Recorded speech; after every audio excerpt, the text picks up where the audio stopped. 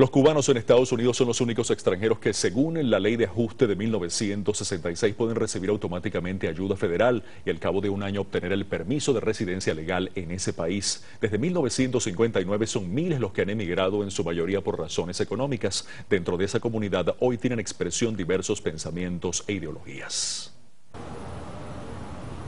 a la Brigada 2506 que invadió Cuba hace 50 años en Playa Girón, financiada y apoyada por el gobierno de Estados Unidos, le han levantado este monumento en la calle 8 de Miami.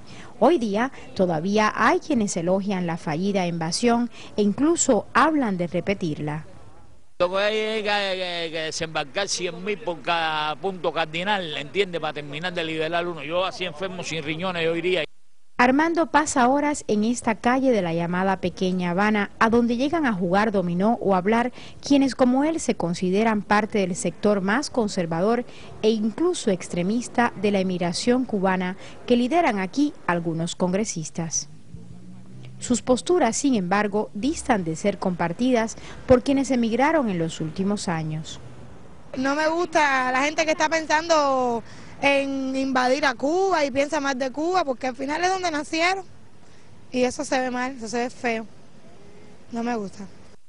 La mayoría de los cubanos que residen en Miami, independientemente de su ideología, coinciden en que se ponga fin al bloqueo estadounidense contra la isla caribeña y se normalicen las relaciones con Estados Unidos.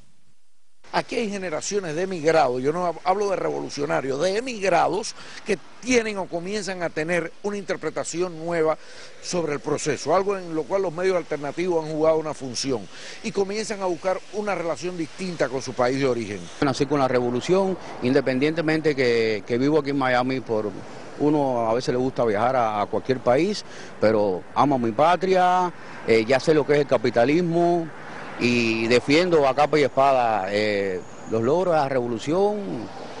Quienes tienen familia en Cuba, que son la mayoría aquí, priorizan su relación con la isla y defienden el derecho a viajar a su tierra. Y los únicos que no hablan de volver a Cuba son precisamente aquellos que se fueron después de los primeros días de la revolución cubana. Ellos guardan un gran resentimiento que no han podido, sin embargo, trasladar a las nuevas generaciones de emigrados que existen en este país. Aiza García, Telesur, Miami, Florida.